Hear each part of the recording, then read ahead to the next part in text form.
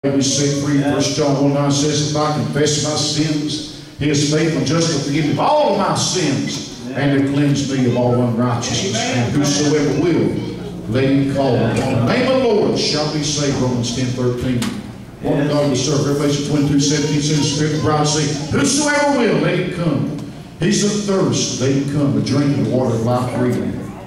Three invitations given in Revelation 22 17. Are you happy in the Lord tonight? Amen. Give him a hand clap of praise. Hallelujah. He's. One day we're going to learn the golden ground. Amen. But you, therefore, you were not today. When the Lord said, Call your soul away. You're fighting, striving for the and crown. What you, you know not today. When the Lord said, Call your soul away. You're fighting, striving for right. You shall wear a and crown. I'm a crown. Wear a crown. Bells. Trumpet bells.